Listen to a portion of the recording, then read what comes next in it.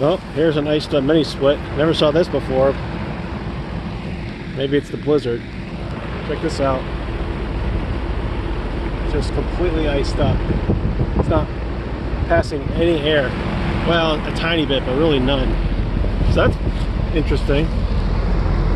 Wow. Wow. Wow. that's pretty bad. Maybe I should uh, do something about that. Okay.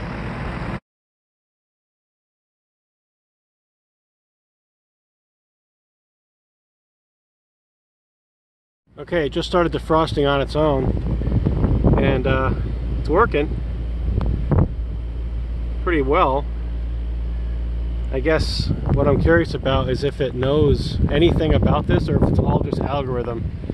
And then the other question is, regardless of what it knows or doesn't know, how effective is the defrost mode going to be? And it's clearly melting it. So right now what it's doing is it's running the compressor in air conditioning mode with the fan off. So it's generating heat in the uh, condenser coil and the inside fan is also off.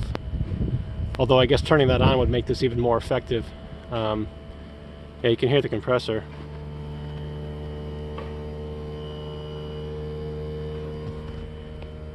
Wow, that works fast. But the question is, is it going to work all the way down? How about on the back? Wow. Okay, so it's decent, but there's a lot of stuff at the bottom that needs some assistance. Kind of curious. This is uh, this is thicker down here. This is quite thick here. Well, definitely thicker. But up there it worked pretty fast. So that's cool. I guess I'm gonna keep watching this.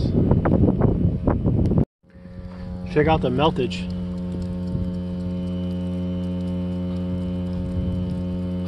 That's all water from the coils.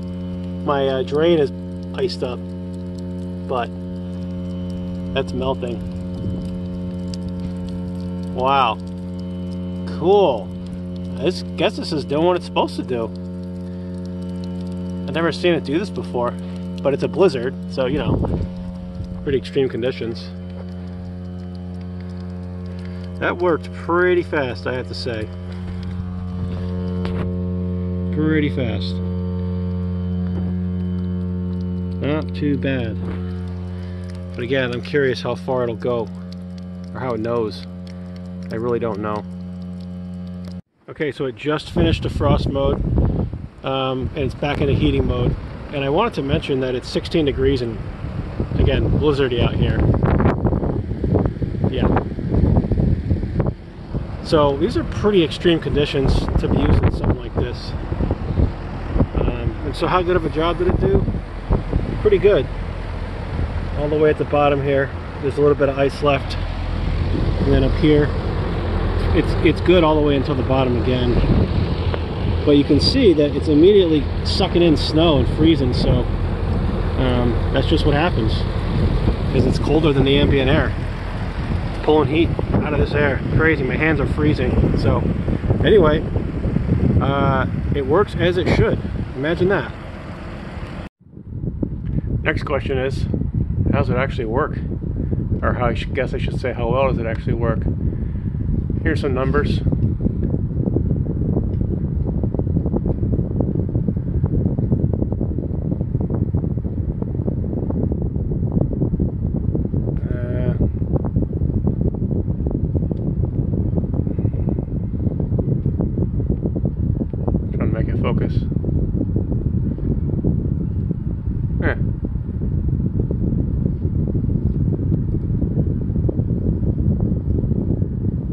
Pretty good.